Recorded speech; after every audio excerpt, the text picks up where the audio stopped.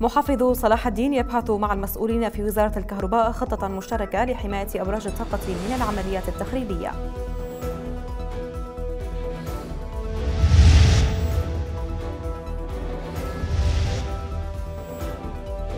مراقبون يسألون سياسي الوجه الآخر عما قدموه للنازحين والمناطق المدمرة غير بكاء الانتخابات.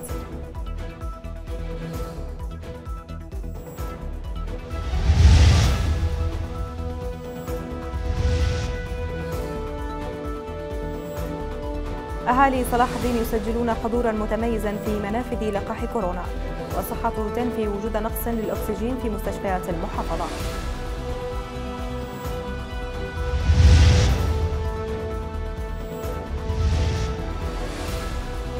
وبغداد تستضيف قمة الجوار الإقليمي نهاية الشهر الجاري ومراقبون يتحدثون عن مصالحة بين تركيا ومصر والسعودية وإيران.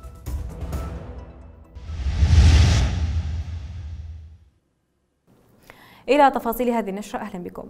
واصل محافظ صلاح الدين الدكتور المهندس عمار جبر خليل متابعته لملف الطاقة الكهربائية وما تتعرض له من استهداف ممنهج من قبل الإرهابيين والمخربين. وكذا المحافظ خلال مباحثات أجراها مع كبار المسؤولين في قطاع الكهربائي أهمية إعطاء موضوع تأمين أبراج الطاقة أولوية مطلقة من خلال إعداد خطط أمنية محكمة تشارك فيها القوات الماسكة للأرض وأبناء العشائر لإيقاف هذا المسلسل الذي يستهدف البنى التحتية والتأثير على الحياة الاجتماعية والاقتصادية وحملة الأعمار في صلاح الدين. مؤكدا تسخير كل إمكانيات المحافظة لدعم جهود تأمين أبراج نقل الطاقة.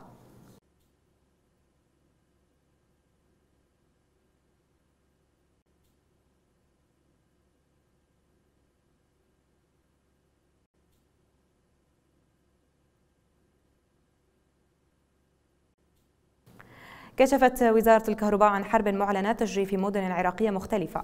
وقال المتحدث باسم الوزارة أحمد العبادي إن ما تتعرض له أبراج الطاقة الكهربائية من عمليات تفجير في مختلف المدن العراقية ليست هجمة شرسة فقط وإنما هي حرب معلنة على خطوط نقل الطاقة.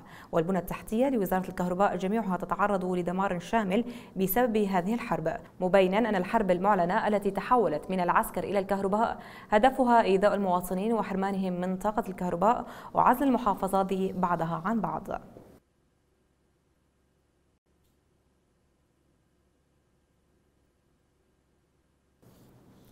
قال عضو لجنة الأمن والدفاع النيابية عبد الخالق العزاوي أن السياسة والفساد يمثلان 70% من أسباب تفجير أبراج الكهرباء في العراق.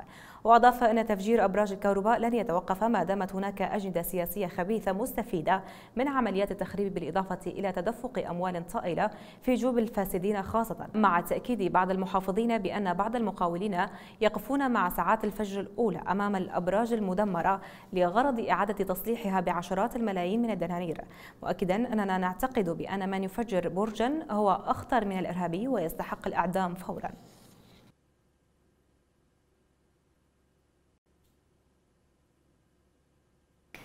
تنوي قيادة العمليات المشتركة استخدام الطائرات المسيرة في حماية أبراج نقل الطاقة الكهربائية مع تصاعد استهدافها مؤخرا. وشدد المتحدث باسم العمليات اللواء تحسين الخفاجي على أن القوات الأمنية تبذل جهدا استثنائيا لحماية أبراج الطاقة التي يركز عليها إرهابيو داعش في الآونة الأخيرة. وأكد أن الطائرات المسيرة سلاح مهم جدا في حماية وتأمين الأبراج وتعطي مرونة ودقة عاليا في ضبط الأمن وأحباط العمليات الإرهابية.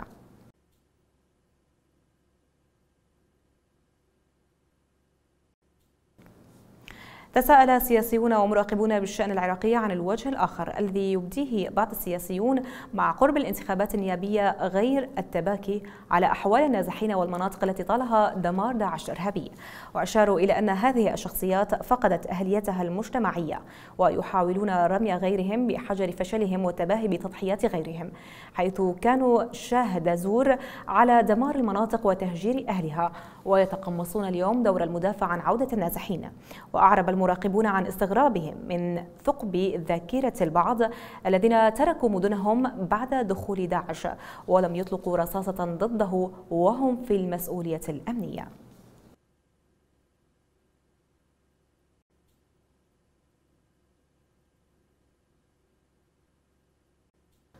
افتتح النائب الأول لمحافظي صلاح الدين إسماعيل خضير الهلوب المسبح الأولمبي في مدينة تكريت والذي تمت إعادة تأهيله بجهود حكومة المحافظة وإحدى الشركات الاستثمارية. وسيخدم المشروع الحركة الرياضية وشريحة الشباب بالمحافظة خصوصا وأنه يعد من المشاريع الترفيهية والسياحية.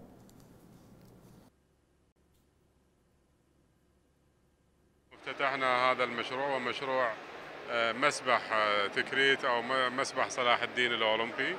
وهو من المشاريع الاستثمارية الجديدة في محافظة صلاح الدين. باعتقادي أنه هذا المشروع ناجح بكل المقاييس. يخدم آه، خصوصا يخدم الرياضة في المحافظة ويخدم شريحة الشباب وكل المواطنين الذين يرغبون بممارسة الرياضة السباحة في هذا المكان. آه، هذا المسبح هو مسبح كان في السابق مسبح مفتوح. أصبح اليوم مسبح أولمبي مغلق. وأعتقد آه، أنه هذا المشروع فيه الكثير من الفائدة العظيم للرياضيين في محافظة صلاح الدين وفي مدينة تكريت. اليوم يعني شيء عظيم لمدينة تكريت. بهكذا منجز كمسبح شاكوزي ساونا. مطعم ساحات خضراء. الحمد لله والشكر. يعني إن شاء الله هذا فاتحة خير لمدينة تكريت. نتمنى المدينة أو المستثمرين أن يبنون بعد واحد أو أكثر في منطقة القادسية. شكرنا وتقديرنا للأخوان في وزارة الشباب والرياضة للمستثمر لإدارة المحافظة على هذا الإنجاز. هذا المسبح حقيقة هو مسبح قديم وكان مدمر بسبب دخول عصابات داعش المجرمة. تم إعادته بجهود المحافظة وبجهود الشركات أحد الشركات الاستثمارية.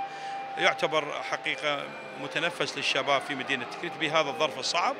آه، من هنا نبارك لأهلنا في آه، في مدينة تكريت ولشبابنا على افتتاح هذا المرفق الحقيقة الرياضي السياحي حفص صلاح الدين ومدينة تكريت. آه، تشهد تقدم كبير في مجال الخدمات بجهود المحافظة بجهود الدكتور المهندس عمار جبر خليل حقيقة له بصمة واضحة في تقديم الخدمات في آه، جميع المرافق. واليوم إحنا نشاهد افتتاح هذا المرفق السياحي الكبير. نظم عدد من الناشطين المدنيين في دائرة الهجرة والمهاجرين فرع صلاح الدين ورشة عمل لتوعية المواطنين بأهمية المشاركة بالانتخابات البرلمانية المقبلة لإحداث التغيير المنشود إضافة إلى دعوة الأهالي لأخذ لقاح كورونا لأهميته في ضمان سلامة المجتمع. ضمن سلسلة من الورشات لتوعية الناس بأهمية المشاركة بالانتخابات. حبينا نقدم هاي الورشة في دائرة الهجرة والمهجرين. باعتبارها هي من المؤسسات الحكومية التي تعني بأهمية المواطن ودائما يجوها آه، مواطنين يترددون عليها لعمل آه، المعاملات الخاصة بهم بمعاملات النزوح والعودة.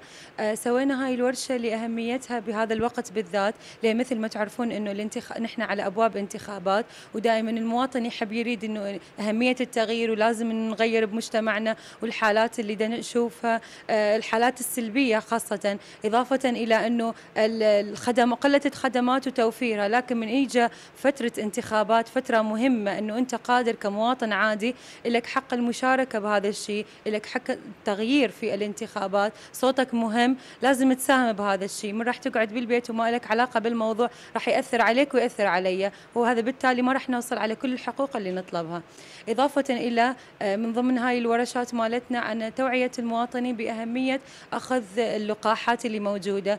آه، مثل ما تعرفون أنه الفيروس انتشر بشكل واسع. بالسنة اللي فاتت كانت صلاح الدين من المحافظات اللي بها عدد قليل من الحالات الإصابة وكنا ملتزمين بالوقاية والتباعد الاجتماعي. لكن من صارت الفيروس وانتشر بيناتنا وصارت تعداد الوفيات كلش كبيرة آه، صار أكو نوع من أنواع التهاون بين المواطنين. فحبينا نرجع على ان أهمية التوعية بهذا الجانب أهمية أخذ اللقاح بما أن اللقاح متوفر ومجاني بكل المراكز الصحية وبالمستشفيات فضروري أنه من أجل أنه نحافظ على سلامتنا وصحتنا كمواطنين ونحافظ على أهلنا وأقربائنا وكبار السن اللي هم بركة بحياتنا من الأفضل أنه نأخذ اللقاح. أهمية التباعد الاجتماعي آه، مهم ونتجنب أنه نصير دائما تجمعات في أي أماكن عامة. هذا المشروع هو بكل حث للشباب للمشاركة في الانتخابات. الانتخابات القادمة لأن الانتخابات القادمة هو المهم والتغيير المهم للمواطن.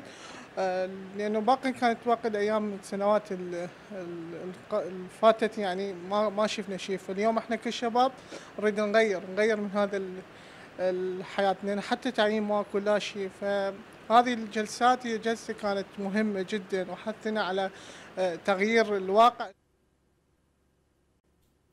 بادر ملتقى شباب تكريت بتوزيع الكمامات والبروشورات التوعوية لتشجيع المواطنين لأخذ لقاح كورونا خصوصا مع زيادة أعداد الإصابات والوفيات.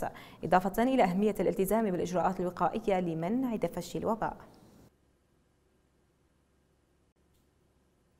بعد تزايد أعداد الإصابات بفيروس كورونا وتزايد أعداد الوفيات والزخم اللي حاصل على المستشفيات. آه، اليوم كان لملتقى شباب تكريت نشاط توعوي للتذكير بضرورة آه، الالتزام بتوع الالتزام بالتوعية والالتزام بنصائح وزارة الصحة. اليوم كان نشاطنا عبارة عن توزيع الكمامات وتوزيع كارتات كارتات اللقاح. طبعا هي الكارتات كانت عن عبارة عن كارتات تشجيعية ومحفزة للقاح. اليوم ندعو جميع المواطنين بالتوجه إلى مراكز اللقاح لأن الوباء أصبح في مرحلة الخطر وأعداد المصابين يعني وصلت إلى حد وصلت إلى حد يعني خطر. فاليوم ننوه على أهلنا في محافظة صلاح الدين وفي العراق بصورة عامة أيضا على ضرورة أخذ اللقاح. وإن شاء الله الصحة والسلامة على شعبنا العراقي. آه، اليوم آه، فعالية ملتقى شباب تكريت هو توزيع الكمامات على الموجودين في وسط مدينة تكريت وتوعية المواطنين وأيضا توزيع بروشرات للمواطنين لتوعيتهم لأن هنالك بالفعل إصابات كثيرة في المدينة وفي أقضية محافظة صلاح الدين. نتمنى من الأهالي الالتزام. واليوم شباب مدينة تكريت مواقفهم مشرفة. نرجو من أهلنا بان أن يعني هذا المرض يعني على على على كل على كل الشعب. ونسأل يعني ندعوهم انه يلتزمون بهاي الكمامة وخاصة بالأماكن المزدحمة. بسم الله الرحمن الرحيم. وتستمر حملة ملتقى شباب تكريت لتوزيع الكمامات وحث المواطنين على التلقيح. آه، بعد تزايد الإصابات في مدينة تكريت آه، قام آه، متطوعي ملتقى شباب تكريت بتوزيع الكمامات على المواطنين. للحث من خطورة جائحة فيروس كورونا. أكد مدير عام صحة صلاح الدين الدكتور رائد إبراهيم حمد عدم وجود أزمة في الأكسجين في مستشفى سامراء العام وذلك لأن مديرية الصحة وفرت هذه المادة وبكميات كبيرة جدا. كما نفى مدير مستشفى سامراء حدوث نقص في الأكسجين فيما أثنى مراقبو المرضى على دور الملاكات الطبية والصحية ومتابعتهم للحالات المرضية. مستشفى سامراء هو مستشفى مدعوم من قبل دائرة الصحة آه، ولا تحتاج أي تبرع آه، آه، مشكورين أهلنا في سامراء لكن يعني إمكانياتنا لحد الآن إحنا مسيطر عليه الوضع. مستشفى سامراء فيها 15 يوجد في ردة العزل الآن هو 15 مريض فقط. هذا بالإضافة إلى أنه يقابلها أنه لدينا طاقة إنتاجية كبيرة من معامل الأكسجين الموجودة في المحافظة. يتم تجهيز مستشفى مستشفى آه، سامرة يوميا على الأقل أكثر من 200 إلى 250 آه، قنينة يوميا خلال 24 ساعة. آه، طاقتنا الإنتاجية كبيرة في محافظة صلاح الدين. عندنا معمل أكسجين مركزي طاقته الإنتاجية أكثر من 560 قنينة في اليوم. وكذلك لدينا معمل في مستشفى سامراء نفسها طاقته الإنتاجية 60 قنينة في اليوم. بالإضافة إلى أنه عندنا تعاقدات مع يعني معامل أكسجين أهلية في كركوك وفي محافظة صلاح الدين أيضا في سامراء نفسها. آه، اليوم الوضع الوبائي يعني خطير جدا. هناك ارتفاع بعدد الإصابات. آه، عدد المرضى الراقدين آه، في مركز المحافظة أكثر من بقية الأقضية. الأكسجين المتوفر بجهود العاملين في في ردة العزل وبجهود الكوادر الإدارية وبجهود الكوادر الهندسية في مستشفى سامر العام بالتعاون مع دائرة الصحة صلاح الدين. حقيقة كوادرنا تصل الليل بالنهار إحنا حقيقة يعني آه، بليل أمس ثاني يمكن الساعة 3 بالليل إحنا مطلعين سيارتين لنقل الأكسجين سيارة آه اتجهت باتجاه كركوك لجلب الأكسجين والسيارة الثانية اتجهت باتجاه معمل صلاح الدين لجلب تكريت لجلب الأكسجين نتيجة عطل المعمل المعمل الأهلي في في قضاء سامراء. الموقف كله جيد دا يتوفر أكسجين وأكسجين عندي هذا خزن مال عزل وعندي خزن بال البرة. وأكسجين كلش متوفر من الدائرة ومن المعمل الناس الخيرة. أي نقص ما عندنا وأي أزمة ما عندنا. واحد من ضمن الممر... يعني المرضى ذاك يمكن يمكن 12 بطل هم جاء قاعد يجيبوا له يودوا له حالته شوية يعني سيئة. لا والله أبد ما لا الدكتور ولا الدكاترة هاي من الصبح وبالليل. والمغرب كلهم المضمدات كلها. درجة الاكسجين يعني حتى احتياط يخلون إي. لا والله حيل درجة أولى والله. اي اي والله يجون إي والله جاي يجون إي ما شاء الله متواجدين والله. ضمن حملة الأعمار التي أطلقها محافظ صلاح الدين تمت المباشرة بتسليم أعمال مد شبكات مشروع الماء والمجاري وتبليط الشارع الرئيسي لقضاء ضلوعية للشركة المنفذة وذلك للمباشرة بالعمل بشكل فعلي خلال الأيام القليلة المقبلة. تم إجراء الكشف الموقعي على مشروعي شبكة الماء والمجاري للضلوعية وتطوير الشارع الرئيسي لقضاء الضلوعية.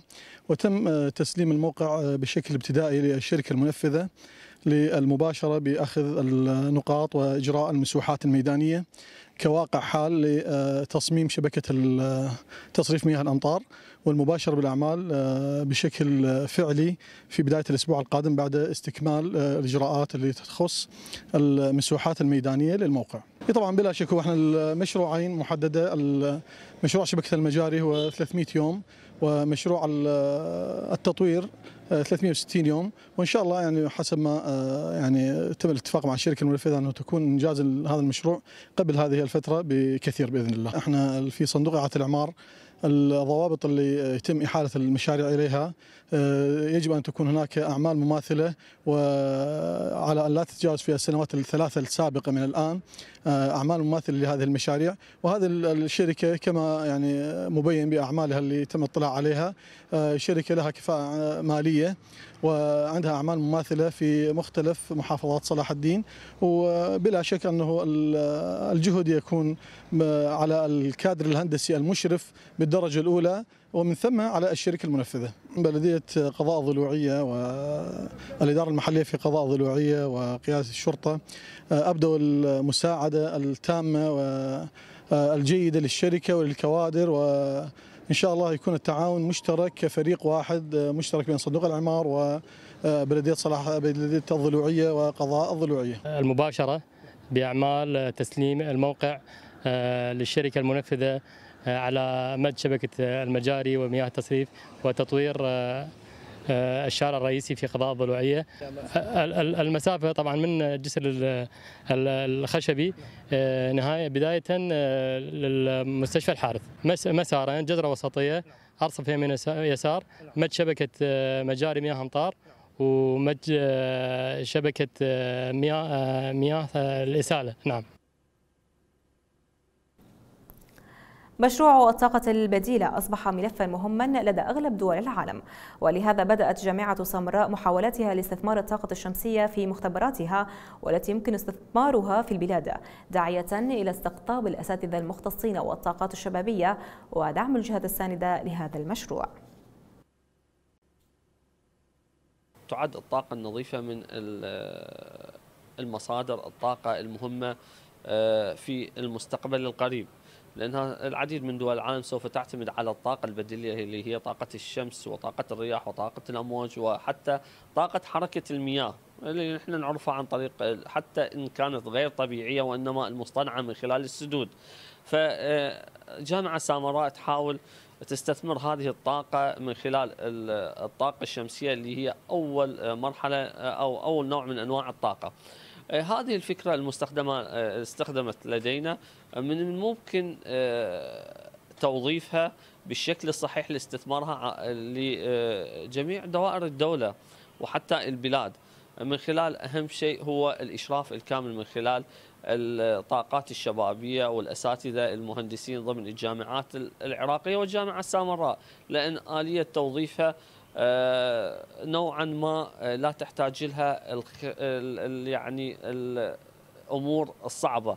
لأن حتى داخل البيوت يستخدمها العديد من الأشخاص اللي هم حتى خبراتهم البسيطة فقط آلية الربط. أكيد التوظيف هو مهم والإشراف من قبل الجهات الساندة هي مهمة لدعم هذه الفكرة والوصول بها إلى المستوى اللائق للبلاد. تم تم تنصيب وتشغيل منظومة طاقة شمسية بقدرة 40 واط. تم تنصيبها والعمل بها آه، ضمن مختبر التحليلات الآلة المتقدم حيث هذا المختبر يضم أجهزة عديدة أجهزة متقدمة للتحليلات. آه، هاي الأجهزة حساسة لأي انقطاع مفاجئ للكهرباء. آه، قد يؤدي إلى عطلها وهي غالية الأثمان جدا. يؤدي إلى نتائج خاطئة غير دقيقة. فبدت الفكرة أنه أيضا إسهام من عندنا بمحاولة إيجاد طاقة نظيفة بديلة المحافظة على البيئة المساهمة في موضوع موضوعة الاحتباس الحراري. بالإضافة إلى أنه هذه وفرت لي طاقة مستمرة على طول 24 ساعة بحيث ممكن أزيد الإنتاج العلمي للجامعة والكلية.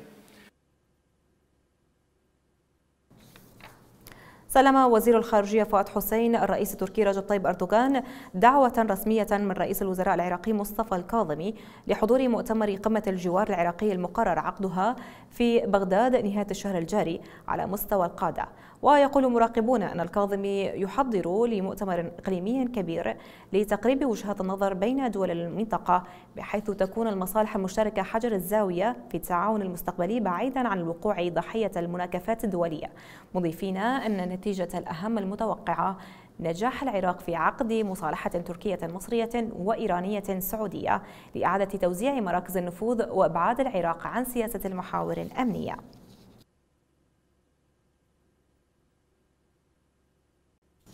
أكد رئيس مجلس الوزراء مصطفى الكاظمي أن الاجتماع الذي عقد في القصر الحكومي مع القوى الوطنية بحضور رئيس مجلس النواب محمد الحلبوسي ورئيس مجلس القضاء الأعلى فائق زيدان ومفوضية الانتخابات وبعثة الأمم المتحدة في العراق أجمعت فيه القوى السياسية على إجراء الانتخابات بموعدها. وقال بيان لمكتب الكاظمي أن المفوضية أعلنت استعدادها فنيا وقدرتها لإجراء الانتخابات في موعدها المحدد في العاشر من تشرين الأول المقبل فيما أكد الكاظمي تمسك الحكومة بالموعد المقرر وقدرتها على توفير الأجواء الملائمة لإجرائها وبانسيابية عالية. واقترح الكاظمي تشكيل لجنة من القوى السياسية الوطنية للحوار مع الكتل المقاطعة وإقناعها بالعدول عن قرارها من أجل توحيد الجهود خلال المرحلة المقبلة.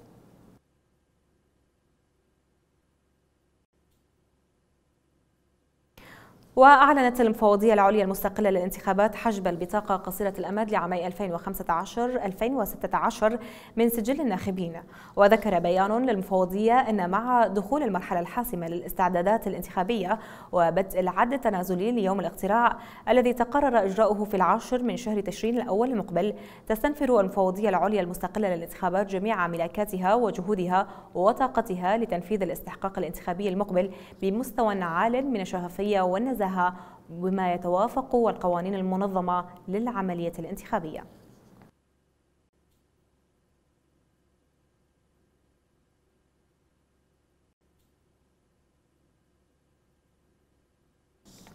وأكدت السفيرة الأمريكية لدى الأمم المتحدة ليندا توماس جرينفليد أن فريق الأمم المتحدة الذي يرافق الانتخابات العراقية في تشرين الأول سيكون الأكبر من نوعه حتى الآن. وقالت سيكون فريق المساعدة الانتخابية أكبر وأكثر تقدما وأفضل تجهيزا من فرق الانتخابات السابقة. وحذرت جيرين فليد من الضغوط السياسية وتدخلات والترهيب والتدفقات المالية غير المشروعة التي يمكن أن تعرض مصداقية الانتخابات للخطر.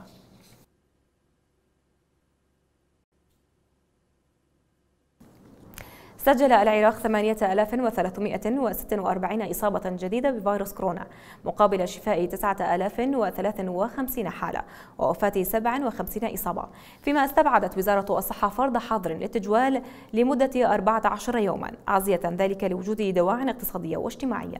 إلى ذلك وصلت إلى العراق مليوني جرعة من اللقاحات المضادة لفيروس من إنتاج شركتي فايزر الأمريكية وسينوفارم الصينية وهي أعلى كميات مستلمة خلال يوم واحد.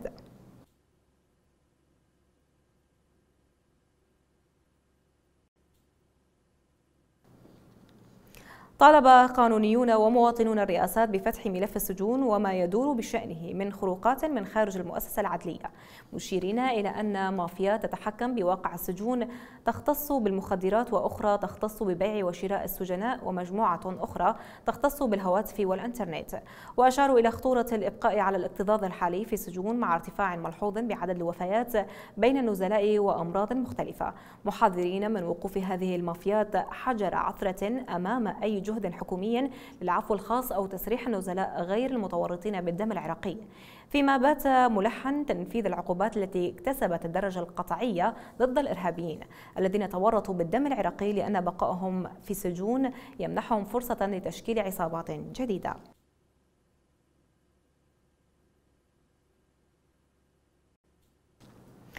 تتابع وزيرة الهجرة والمهاجرين إيفان فاق جابرو قضية العراقيين الذين وقعوا ضحية الهجرة غير الشرعية وشبكات الإتجار في البشر فيما دعت الراغبين بالعودة إلى الوطن إلى التواصل مع الوزارة. وقال جابرو نقدر كل المسببات التي تدفع شبابنا لهذا الطريق. لكن ومع ذلك نؤكد أنهم جوهر المجتمع ويحزننا أن نفقد أيا منهم نتيجة لوعود كاذبة. ونحثهم على الصمود أمام التحديات والوقوف معا لتجاوز كل ما يعصف بالوطن من محن فمن دونهم يستحيل النهوض والعمل. وأضافت أننا ملتزمون بموقفنا الرسمي الذي نعبر عنه في كل المحافل بأننا مع العودة الطوعية لأي مهاجر. وضرورة الالتزام بالتعامل الإنساني والكريم مع كل العراقيين العالقين في بيلاروسيا وليتوانيا.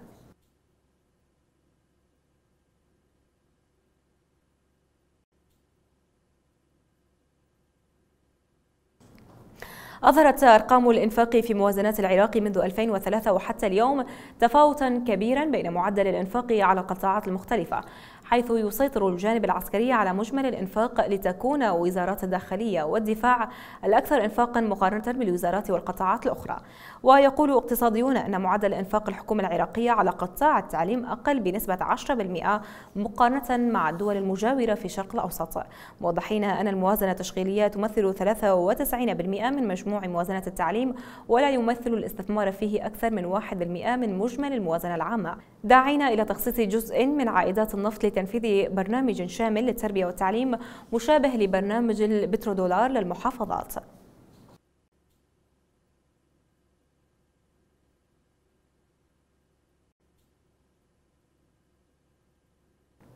حدد مستشار رئيس الوزراء لشؤون الأعمار صباح عبد اللطيف الآليات التي ستتبعها الحكومة في بناء قطع الأراضي التي ستوزعها بين المواطنين الذين تقدموا بأكثر من مليونين طلب عبر منصة داري. وأضاف أن الآلية الأولى تتضمن تقديم صاحب الأرض لمنحه قرضا ماليا من خلال صندوق الإسكان أو المصرف العقاري. والخيار الثاني بإحالة بعض المواقع على شركات استثمارية لبناء دور واطئة الكلفة لكن بمواصفات وجودة عالية.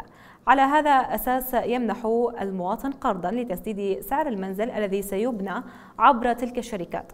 وأشار عبد اللطيف إلى أن الحكومة تعمل اليوم على مشروع عملاق في مدينة الصدر يضم بناء 91 ألف وحدة سكنية ويسكن فيها ما يقارب 620 ألف شخص. موضحا أن هناك مجمعات سكنية واطئة الكلفة تعمل وزارة الأعمار والإسكان في كل المحافظات لتوزيعها بين الفئات المستحقة.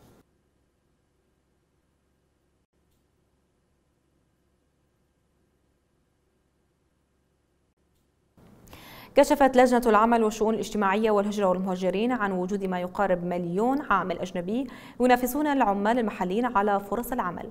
وأوضح عضو اللجنة فاضل الفتلاوي أن نسبة عالية منهم دخلوا إلى العراق بطريقة غير شرعية ومخالفة للقانون عن طريق شركات أو التهريب بطرق معينة. داعيا الحكومة إلى السيطرة على المنافذ الحدودية والمطارات.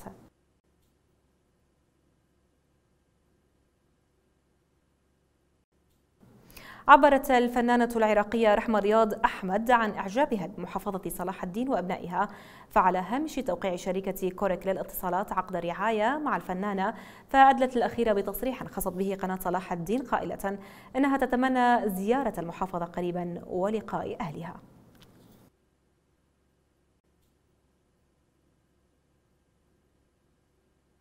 جمهوري الحبيب في صلاح الدين أتمنى لكم الخير يا رب دائم. وشكرا على محبتكم وعلى اهتمامكم وإن شاء الله أشوفكم قريبا بصلاح الدين. والله هواية نفسي أزور المحافظات يعني. ما رايحة عمري صلاح الدين. تتابعون في نشرتنا بعد الفاصل. مكتب مفوضية انتخابات دهوك يعلن استعداده لاقتراع تشرين الأول المقبل. والبنك الدولي يؤكد حرصه على حقوق كردستان كونه جزءا من العراق. والسعودية تستأنف العمرة للمعتمرين من الخارج وفق شروط. والخرطوم ترفض اتهامات المسؤولين الإثيوبيين بشأن تيغراي وتوالي تساقط المدن الأفغانية على يد طالبان. وحرائق اليونان المتواصلة تجبر المئات على الفرار وتدمر منازل. وفي وداع برشلونة ميسي يصدم الجميع ويدخل باكيا وعاجزا عن الكلام. أهلا بكم مجددا إلى التفاصيل.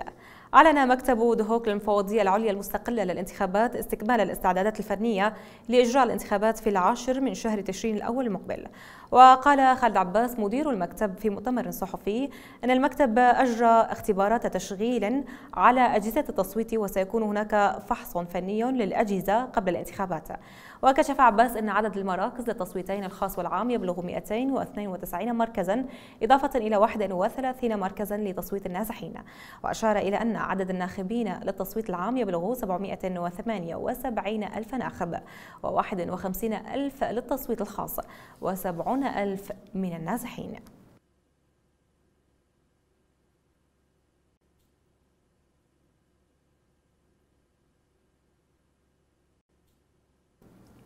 أكد رئيس مكتب البنك الدولي في العراق رمزي عفيف نعمان حرص البنك الدولي على حقوق إقليم كردستان كونه جزءا من العراق. وقال نعمان أن العلاقة بين البنك الدولي والعراق ليست بجديدة وهناك محفظة كبيرة من المشاريع في العراق. وإنما الجديد هو الاستراتيجية التي أعدها البنك الدولي للسنوات الخمس القادمة مضيفا أن الاستراتيجية الجديدة تعتمد على دعم العراق خاصة أن العراق قد وضع برنامجا إصلاحيا وهو الورقة البيضاء التي وافقت عليها الحكومة ووضعت لها آلية تنفيذ. مؤكدا أن البنك الدولي والمجتمع الدولي يقومان بمساعدة العراق في تنفيذ هذه الإصلاحات الأساسية التي تواجه المشاكل الهيكلية التي عانى منها العراق في السنوات الماضية والتي زادت بسبب التظاهرات وبعدها كورونا وتداعياتها وتدني أسعار النفط حيث شهد الاقتصاد العراقي أزمة كبيرة بسببها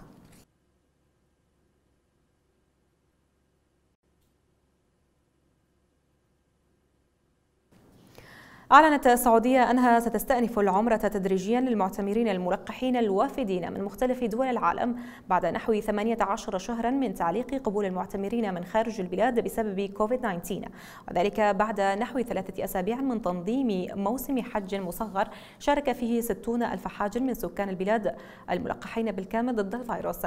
وأعلنت وزارة الحج والعمرة أنه سيتم استقبال طلبات العمرة من مختلف دول العالم تدريجيا اعتبارا من الاثنين الموافق التاسع من آب لأداء مناسك العمرة والزيارة والصلاة في المسجد الحرام والمسجد النبوي الشريف. وأضافت بخصوص المعتمرين القادمين من خارج المملكة أنه يجب إرفاق شهادة التحصين المصادق عليها من الجهات الرسمية في بلد المعتمر مع اشتراط أن تكون اللقاحات معتمدة في المملكة. واللقاحات المعتمدة في المملكة هي بيونتيك فايزر وأسترازينيكا وموديرنا أو جرعة واحدة من لقاح جونسون أند جونسون.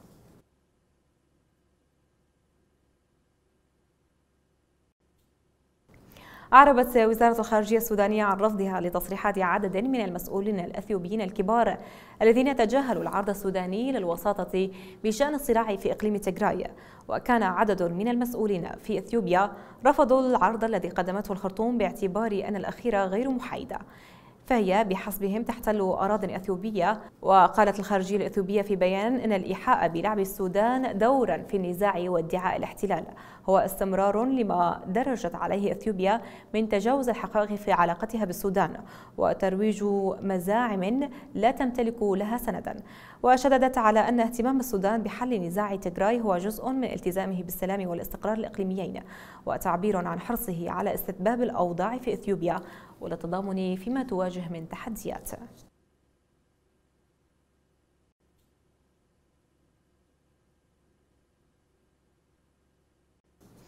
سقطت مدينة ساريبول الواقعة في شمال غرب أفغانستان بأيدي حركة طالبان التي استولت بذلك على رابع عاصمة ولاية خلال ثلاثة أيام. وقال محمد حسين مجاهد زادة عضو مجلس ولاية ساريبول أن طالبان حاصرت كتيبة عسكرية على مشارف المدينة. مؤكدا أن كل الأجزاء الأخرى للمدينة أصبحت تحت سيطرة طالبان. وجاءت السيطرة بعدما خاضت الحركة معارك طاحنة ضد القوات الحكومية في المدينة التي تحمل نفس اسم الولاية. كما ذكر وذكر مسؤولون لفرانس بريس. وقال شهود عيان في قندوز أن مقاتلي طالبان وصلوا إلى الساحة الرئيسية في المدينة والطائرات تقصفهم. وهناك فوضى عارمة في المدينة. وتخلت القوات الحكومية الأفغانية إلى حد كبير عن الريف للمسلحين لكنها تدافع الآن عن مدن في جميع أنحاء البلاد.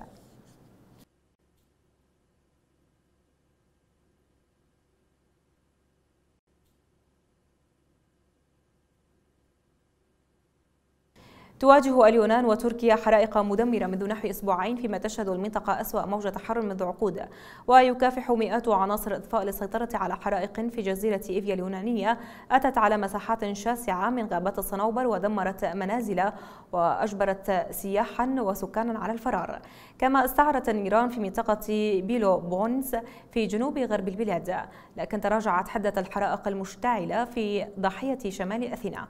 وأشار مسؤولون وخبراء إلى وجود رابط بين أحداث طقس غير مألوفة كهذه والتغير المناخي وأدت الحرائق حتى الآن إلى مقتل شخصين في اليونان وثمانية في تركيا المجاورة فيما نقل العشرات إلى المستشفيات. وبينما خففت الأمطار من حدة الحرائق في تركيا خلال عطلة نهاية الأسبوع لا تزال اليونان تعاني في ظل درجات حرارة مرتفعة للغاية.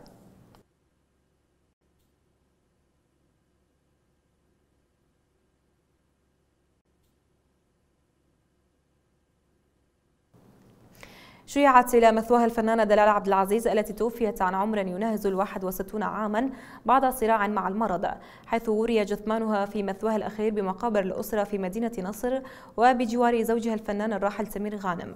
وأقيمت صلاة الجنازة في مسجد المشير تنطوي بحضور أسرتها وعدد كبير من نجوم الفن. لتدفن بعدها إلى جوار زوجها الذي توفي قبلها بعشرة أسابيع. وتوافد الفنانون وعدد كبير من محبي وأقارب الأسرة للمشاركة في التشييع. شارك دلال وسمير في أكثر من 19 عملا وامتدت مسيرتها الفنية لأربعة عقود شملت نحو 200 عمل سينمائي ومسرحي وتلفزيوني. آخرها مسلسل ملوك الجدعنة وكما شاركت زوجها سمير غانم الحياة الشخصية والفنية. شاركته أيضا في سبب الوفاة حيث أصيب الإثنان بفيروس كورونا في إبريل الماضي. ليتوفى سمير غانم في مايو وتلحقه دلال في السابع من أغسطس.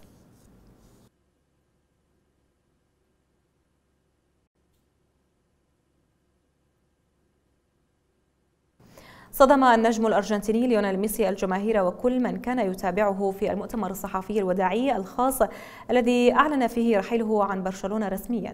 وبدأ في قمة الحزن والأسف على ما حصل. ولحظة دخول النجم الأرجنتيني إلى القاعة الخاصة بالمؤتمر الصحفي انهمرت دموعه في لقطات حزينة وقاسية صدمت الجميع. ولم يتمكن ميسي من التحدث من أمام المنبر إلا بعد دقائق. لأنه كان حزينا ومتأثرا بشكل كبير. وبعد أن توقف ميسي عن البكاء التقطت الكاميرات ردة فعل بعض اللاعبين الحاضرين في المؤتمر الصحفي. وظهرت الدموع في عيونهم متأثرين برحيله عن برشلونة ليصفق الجميع بعد ذلك عندما استعاد الأرجنتيني توازنه ووقف على المنصة. وتحدث قائلا إنه يوم حزين جدا. كنت أود أن أستمر في هذا النادي لكن الظروف كانت عائقة. نجحنا مع بعضنا البعض في تحقيق الانتصارات. وأيضا شعرت بأنني موجود بين أسرتي خلال مسيرتي مع نادي برشلونة. لقد كنت واضحا وشفافا مع الجميع وفعلت كل شيء للبقاء وخفضت راتبي إلى 50% دون أن يطلب مني. لكن كما ذكرت الظروف أعاقت الاستمرار.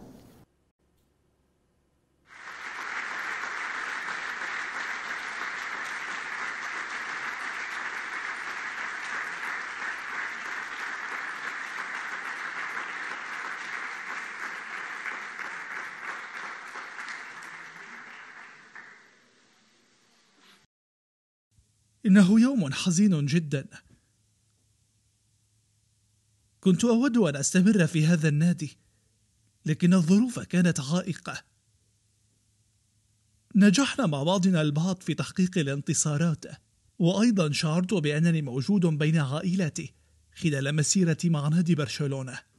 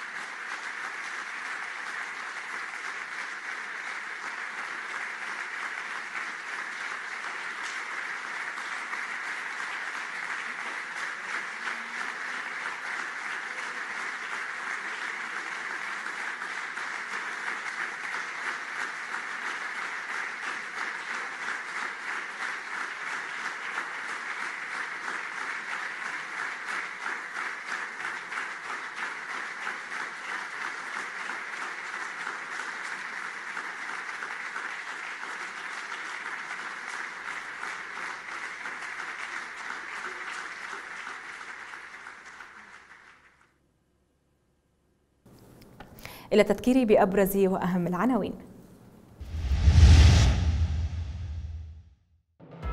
محافظ صلاح الدين يبحث مع المسؤولين في وزارة الكهرباء خطة مشتركة لحماية أبراج الطاقة من العمليات التخريبية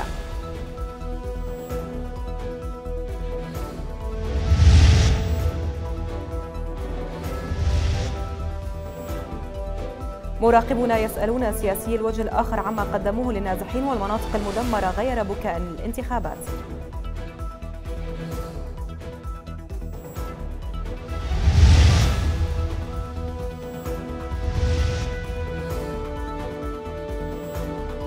أهالي صلاح الدين يسجلون حضورا متميزا في منافذ لقاح كورونا. والصحة تنفي وجود نقص للأكسجين في مستشفيات المحافظة.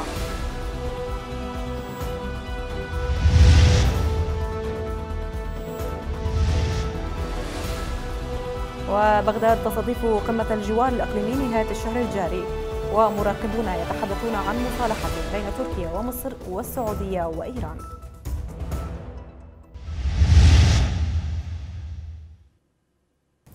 شكرا لحسن المتابعة في أمان الله.